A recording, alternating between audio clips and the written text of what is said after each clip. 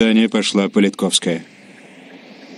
Когда стали говорить о отпустить, не отпустить, они сказали, вообще торг неуместен от подростков. Никаких... Все, подростки — это взрослые люди. Они должны остаться. Наших подростков вы уничтожаете. Значит, все, не, не, даже не, не торгуйтесь. Тогда я сказала, ну, может быть, вода, еда, сок, да, пожалуйста. И быстрее. Потому что в той обстановке, когда говорят «быстрее», ты понимаешь, что быстрее надо очень сильно. Да?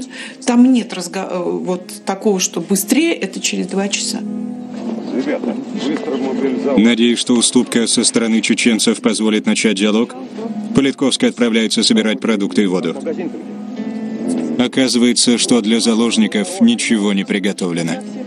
Ну, я даже подумал сначала, что это шутка. А я говорю, да ничего нет.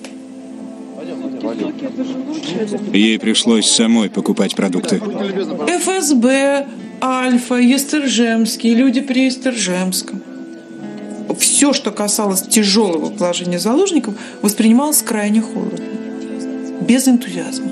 Я считала, что надо сделать все, чтобы облегчить жизнь этих несчастных. Но они готовили штурм. Человек пыль, человек никто. И мы здесь решаем свои задачи. Все происходило ради пиара. Путин и люди вокруг него накручивали ситуацию ради того, чтобы президент на этом фоне выглядел классно.